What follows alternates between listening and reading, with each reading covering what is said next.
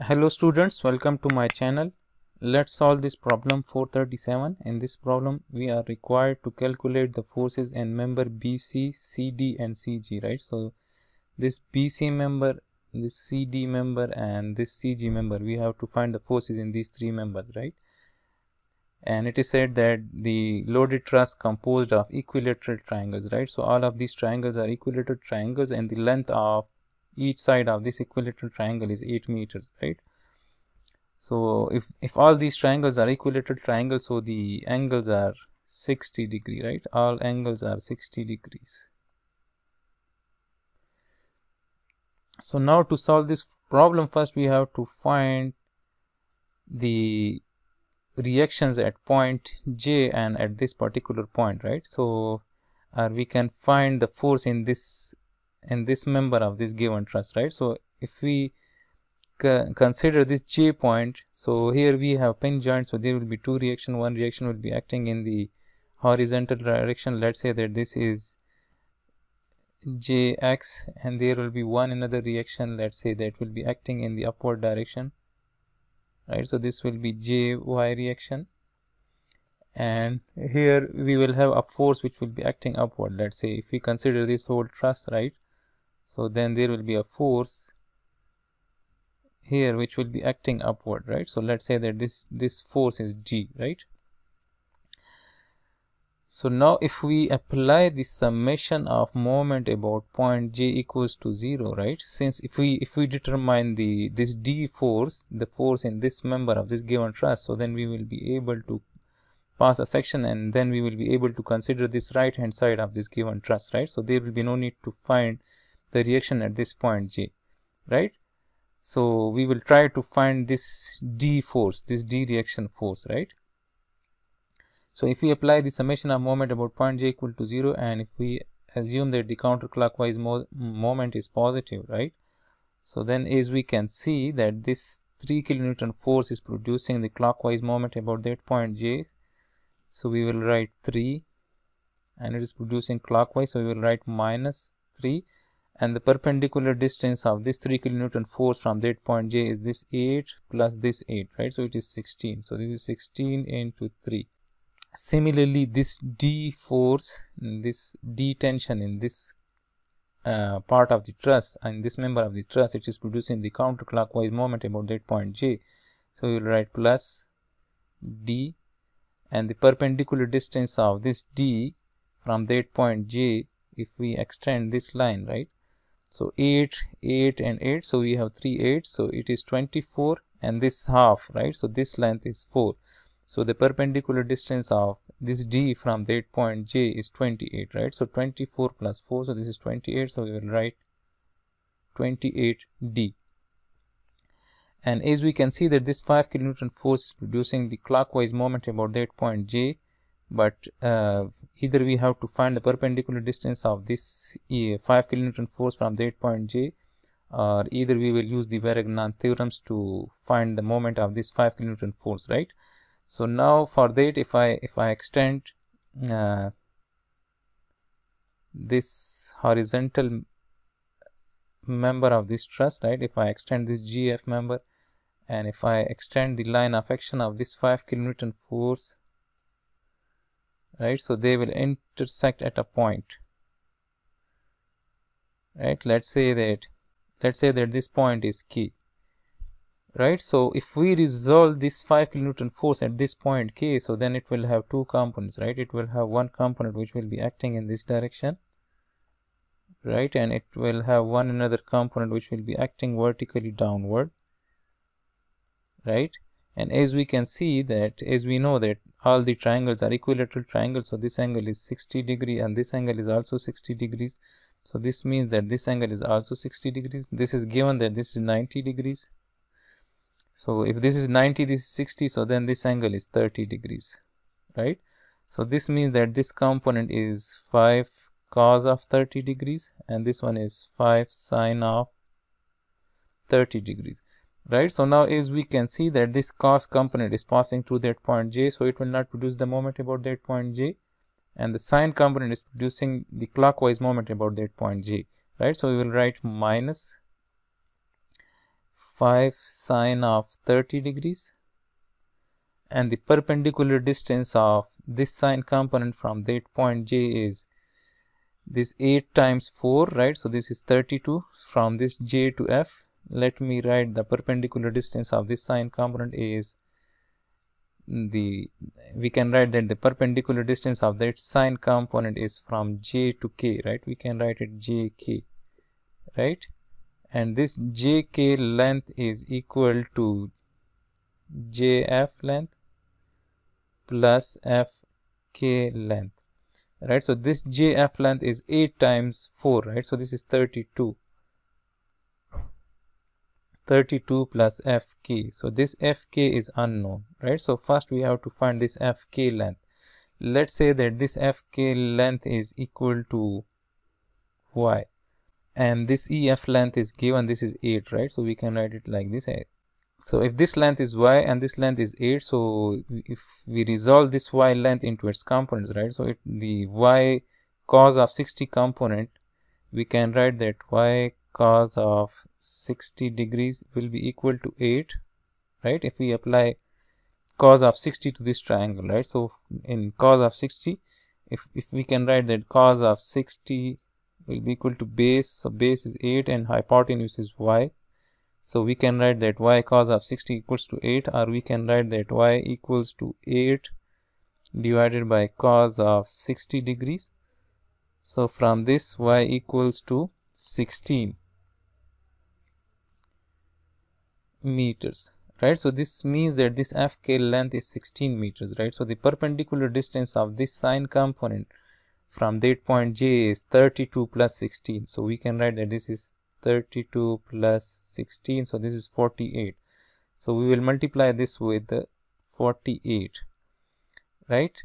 And let me remove this cos component since it's not producing the moment about that point k.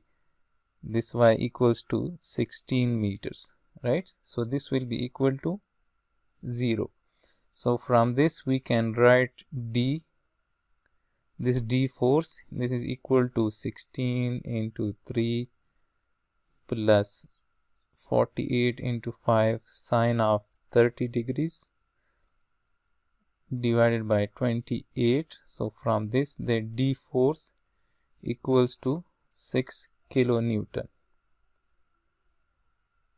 right? So now we know that here here the force is 6 kilonewton right?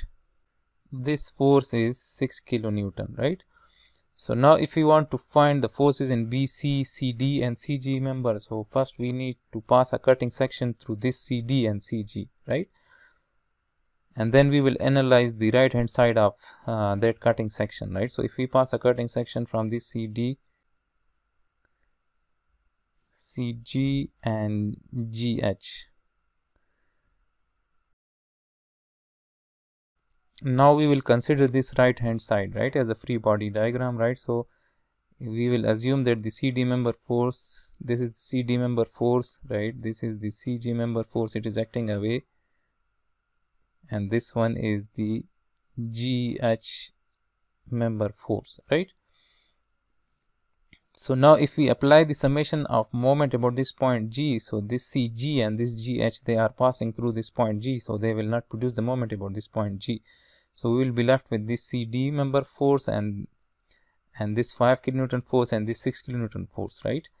So let me apply the summation of moment about point G equals to 0 and let's say that the counterclockwise moment is positive, right? So as we can see that this CD is producing the counterclockwise moment about that point G. So I will write plus CD and the perpendicular distance of this CD from that point G is this distance, right? So let's say that that this point is let's say L, right? So this DL is the perpendicular distance of this CD. So first we have to find this DL length, right? So from this triangle, if I draw that half triangle,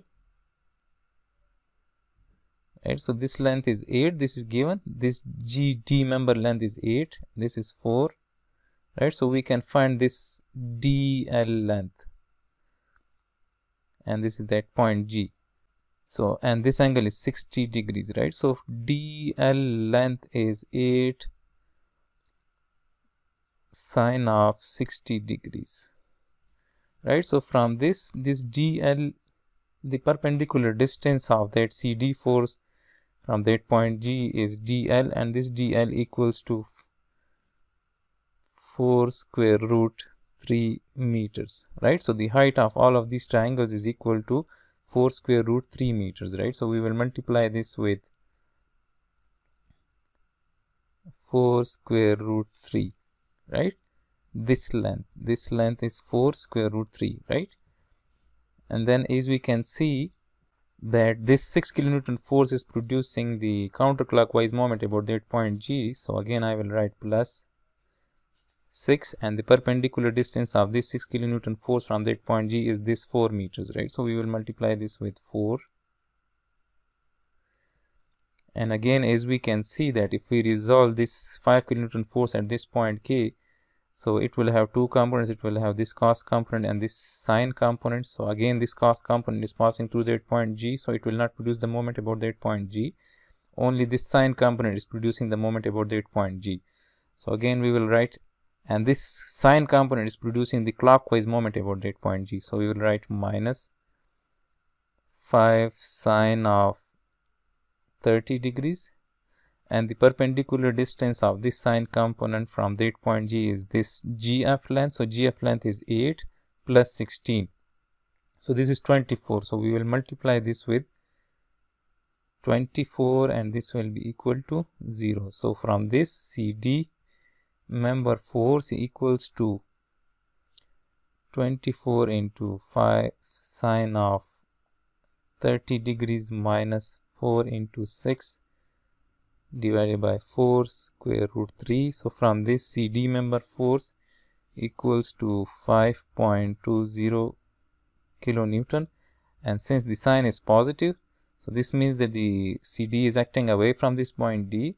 So this is the tension force right? So this is that cd force which is 5.20 kilonewton force and it is the tension force now to find this CG member force we can apply the summation of forces along y equals to 0 right? As we can see that this CD force is horizontal this GH force is horizontal right?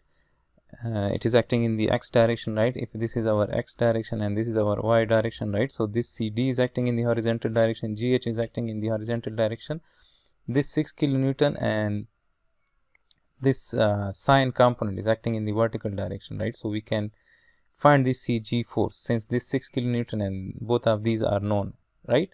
So if we resolve this cg force into its components right? So this cg force is making 60 degrees right? So this cg force will have one component which will be acting vertically upward right? So it will have let me write this cg here. So it will have one component acting vertically upward and it will have one component which will be acting in this direction right? So now if we apply the summation of forces along y and if this is our positive direction so we can write that this component this is the sine component right? So we can write that cg sine of 60 degrees it is acting in the positive direction so i will write plus this 6 kilonewton is acting in the positive direction so i will write plus 6 and this sine component is acting in the negative direction so we will write minus 5 sine of 30 degrees and this will be equal to 0 right? So from this cg member force equals to 5 sine 30 degrees minus 6 divided by sine of 60 degrees. So this cg member force equals to minus 4.04 kilonewton right? So this since the sign is negative so this means that cg member force is 4.04 kilonewton and this is compressive force right? It is acting towards that joint g right? So this means that this is the compressive force. Now to find that bc member force what we need to do is that we need to consider another cutting section right? So we have to pass another cutting section right? So let me let me pass a cutting section through this BC right? So then if we pass a cutting section through this BC this ch and this gh right? So i will pass a cutting section from here here and here right? So let me isolate the right hand side of this given truss so now let's assume that this bc member force is acting away from this point c. This is acting away right? This is ch member force. And this one is that gh member force right? And this is that point h remember right? And this is that bc member force. So we are interested to find this bc member force. So as we can see that this the line of action of this G, uh, gh member force and the line of action of this uh, this one is ch right? So c the line of action of this ch member force is passing through this point h and the line of action of this gh member force is passing through this point h. So if we apply the summation of moment about point h equals to 0 so both of these will not produce the moment about that point h right? So ch and gh they will not come into our calculation right? So we will be able to find this bc member force right so now if we apply the summation of moment about point h and uh, if we assume that the counterclockwise moment is positive right? So as we can see that this bc member force is producing the counterclockwise moment about that point h. So i will write bc it is producing counterclockwise so we will write plus. The perpendicular distance of this bc member force from that point h is again the height of this uh, triangle. And, and the height of this triangle is equal to this dl and this is 4 square root 3 so we will multiply this with 4 square root 3 and this is plus.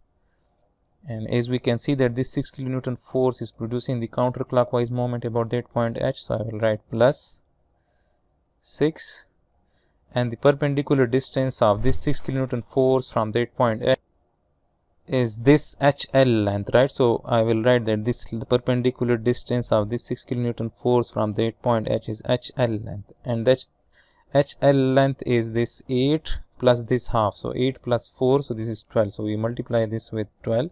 And again, if we resolve this 5 kilonewton force at this point K into its components, right? So it it has two components, this sine component, this cos component.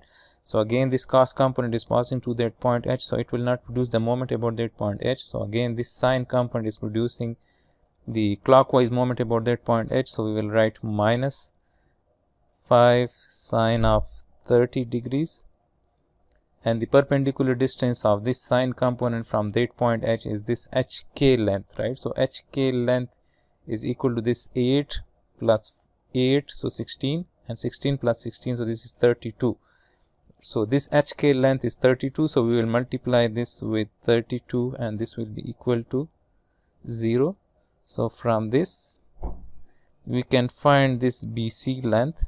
This bc member 4 so this is bc equals to this is minus 12 into 6 plus 32 into 5 sine of 30 degrees divided by 4 square root 3 so from this BC member force equals to 1.15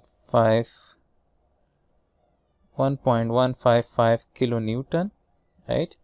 And the sign is positive. So if the sign is positive so this means that the direction is accurate since it is acting away from this point c. So this means that this is the tension force right? So this is that bc member force which was required. This is that cg member force and this is that cd member force right? So this is the solution of this particular problem